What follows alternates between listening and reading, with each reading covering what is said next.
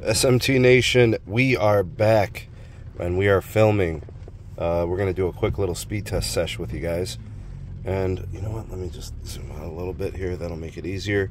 Uh, let's go ahead and test the AT&T network on the Samsung Galaxy S24. We just got it. We put the AT&T eSIM to it, and now we're testing it. All right, folks. So this uh, this testing is around noon. What time is it? It doesn't show it. It's like 11:45 in the morning, and uh, not a lot of you know. It's not going to be heavy usage. You know what I mean? But um, decent time to test. You know, afternoon and early evenings and stuff like that. But uh, yeah, we're testing, and let's take a look at the bands we're connected to for AT&T. We got 10 megahertz of band 66. We have N77, 80 megahertz, that's the C band. And then 40 megahertz, that's the DoD. There's 10 megahertz of band 14, 15 megahertz of band 2. Uh, we got a lot of spectrum now, don't we? All right, so with that, you get a lot of speed. Okay, so uh, we got like 579 for the downlink, and we got about 9.86 on the uplink, 43 ping, 16 jitter, loaded latencies in the 600s and the milliseconds. All right, so the reason why I wanted to share this with you guys is because I've tested in this location on iPhones and previous model Galaxies, and I never got this type of throughput in this location. So to me, this tells me that we have a substantial upgrade in RF performance out of the Samsung Galaxy S24 RF system. So the modem, the antennas, put it all together to have an improved experience over the devices I've been using. Uh, notably better than the iPhone for sure, and a lot better than the S22. A lot can change in a couple of years, right, guys? So you're getting that improved RF system, uh, which would be what the X75 modem, I believe, is the the name of the model and the antenna array and everything is performing great. This is mid-band 5G along with the LT, so the NSA 5G setup. And it's been really good. This is my initial testing, first video, uh, 633 down and 11 up. But, I mean, I, I can show you guys, like, my, uh, you go to the report segment on the Ookla speed test, and you could see, you know, all the testing. And it's it's been like this, but and even better in some instances. Uh, typically, my average uplink for AT&T on this phone, I'm seeing uh, anywhere between, like, 20 and 50 megabits per second for uplink.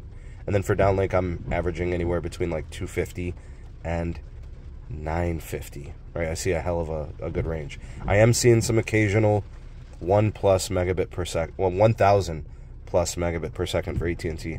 Uh, it's not it's not really common, but uh, I do see it from time to time. There's some really well optimized sites with low usage.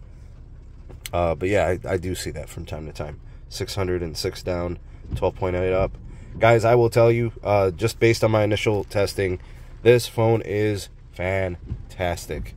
It really is a cellular beast. Uh, the display, by the way, phenomenal. I haven't done much with the video recording. I've done a couple of shorter videos with it, and it's performing pretty good. I haven't done photography, so I have more to do. But this thing is definitely a go. If you need to be on the cutting edge of cellular RF performance, this is the this is the move. Uh, it is definitely better than my iPhone 14 Pro Max. I do have to get an iPhone 15 Gen phone, and then we can kind of pin them up against each other.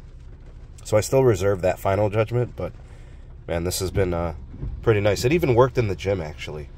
Uh, before it was like kind of touch and go with N77 on C-band uh, DoD combo for AT&T, uh, but but now it's picking it up consistently. It's steady, it holds, and it performs really well. It's almost 300 megabits in there. Uh, mind you, T-Mobile only gets 5 megahertz of band 12 in there.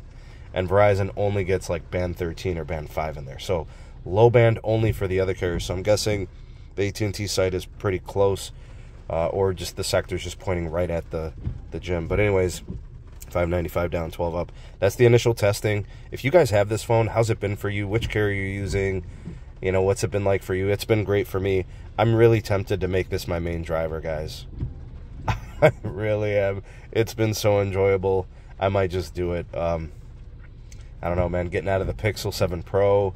I've been daily driving the iPhone 14 Pro Max. I might just do it.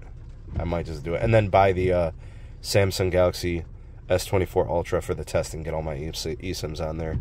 Uh, but first, first speed testing video for AT&T on the S24, people. Uh, your thoughts and opinions, welcome down below. Your commentary. Love to hear your experiences and what you guys think of this testing. 624 down, 13 up. Thanks for watching. Please do like, share, and subscribe for more if you want to see more content like this. Uh, we shall see you all in the next one. Peace.